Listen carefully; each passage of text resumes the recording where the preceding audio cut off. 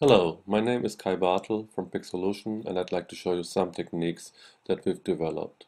The first thing we're going to show you is our visual sorting techniques. So instead of searching through many pages like in a content management system like this one, we can actually load all images at once, up to 1000 images, and then these images will actually be visually arranged in such a way that we can easily see where the images of interest are. So we can easily see the night shots or all the models in which I'm interested for in this case. So I can just pick them here and add them to my lightbox in this case.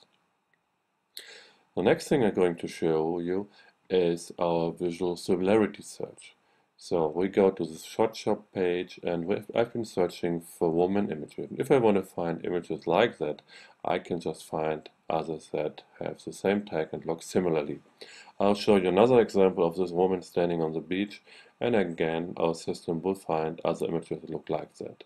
As the last example, I will show you some black and white shots of this woman and again we will be able to find images like that.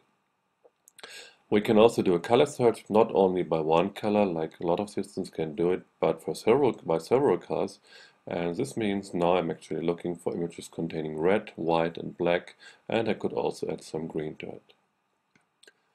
We have actually combined all these techniques in our image search system, which is called Pixolu.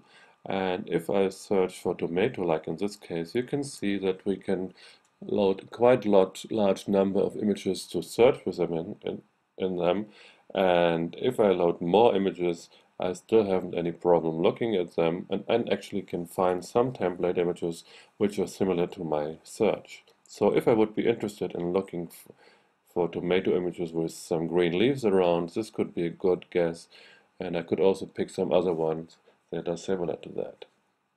And by selecting the images, actually two things to happen.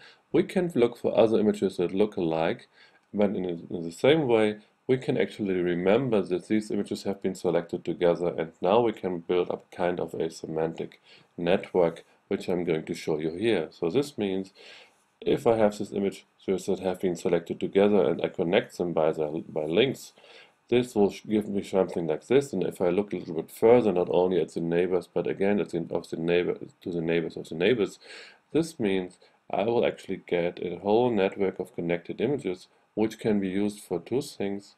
I can do a very good search because now I can get images that need not to look similar and they also don't need to have the same keyword, but I could still find them.